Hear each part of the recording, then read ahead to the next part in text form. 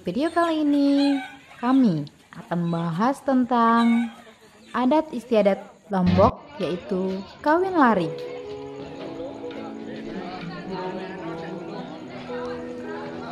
Di Lombok, jika anak laki-laki hendak menikah dengan sang pujaan hatinya, dia akan membawa lari sang kekasih hati dari rumah orang tuanya. Dan saat di luar rumah, bahkan saat si anak gadis sedang berada di rumah orang tuanya. Orang Lombok menyebutnya pemaling atau kawin lari.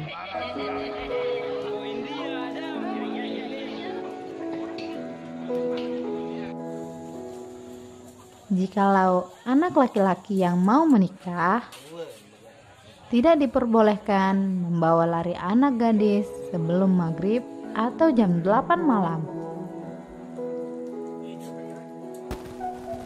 Karena kawin lari mempunyai aturan yang sangat sakral yang tidak boleh dilanggar. Dan jika laki-laki yang di Lombok melanggar aturan tersebut, ia akan mendapatkan sanksi berupa denda atau uang yang akan ia bayar ke pihak perempuan. Namun, sebelum laki-laki membawa lari sang pujaan hatinya, calon mempelai laki-laki dan keluarganya sudah ada kesepakatan atau pembicaraan terlebih dahulu. Yakni Kapan waktu yang baik untuk dilakukan menikah atau merari? Dan rumah kerabat yang mana yang akan ia tuju untuk membawa calon mempelai wanita?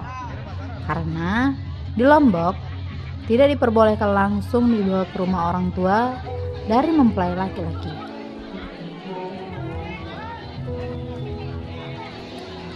Setelah hari kedua, pihak dari calon mempelai laki-laki akan mengutus seseorang ke rumah mempelai wanita untuk memberitahukan bahwa anak gadisnya sudah dibawa lari oleh pacarnya atau sang mempelai laki-laki.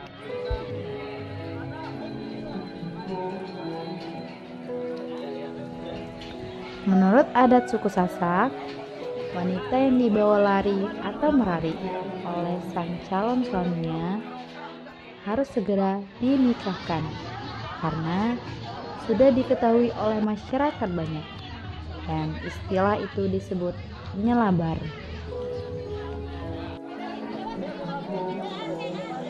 Setelah itu, baru kedua belah pihak keluarga melakukan selabar sejati dan ambil wali calon mempelai wanita sebagai permintaan izin untuk melangsungkan pernikahan.